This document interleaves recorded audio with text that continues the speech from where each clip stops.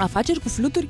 Măi să fie! Nu vă mirați, există și așa ceva. Iar cea care a avut această idee întreprinzătoare a fost Irina Predescu, o tânără avocat care și-a început și dezvoltat afacerea încă de când era pe băncile facultății.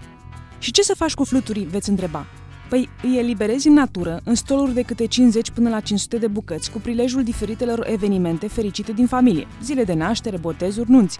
Chiar și pe criza asta, afacerea cu fluturi merge bine, căci nunți, botezuri, zile de naștere și evenimente de firmă sunt destule încă. Irina Predescu a venit însoțită de 5 exemplare de fluturi din speciile Coada Rândunicii și Poligonia Sea Album, spunându-ne povestea unei afaceri cu fâlfâi de aripi. De unde ideea și când a început? A început acum 3-4 ani, un pic mai devreme, dar în mod oficial acum 3-4 ani.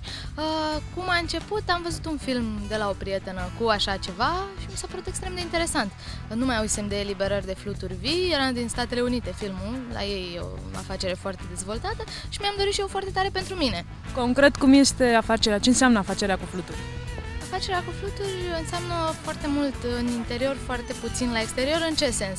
Pentru exterior înseamnă livrarea unei cutii frumos ambalate cu fluturi vii pentru un moment pe care iarăși durează foarte puțin, doar pentru poze și senzația inițială de la eliberare, iar în uh, interior înseamnă foarte multă muncă. O dată pe partea de promovare, a doua oară pe partea de uh, crescut propriu-zis, pentru că trebuie să ai materialul de eliberat. Avem în continuare, ne-am lansat cu două specii și acum avem trei specii de fluturi. Îi creștem la noi în fermă. Uh, speciile sunt uh, împărțite pe sezoane, adică începem sezonul eliberărilor cum se face puțin cald, adică în luna mai de obicei, sfârșit de aprilie, început de mai, terminăm prin octombrie. Ordinea lor cronologică sunt uh, specii de fluturi albi, apoi ochi de păun până în octombrie inclusiv și coada rândunici în iulie și august. Media este de 100 de fluturi. Eu ofer de la pachete începând cu 50 pentru fluturi albe ochi de păun uh, până la 500, dar nu e nimic limitat.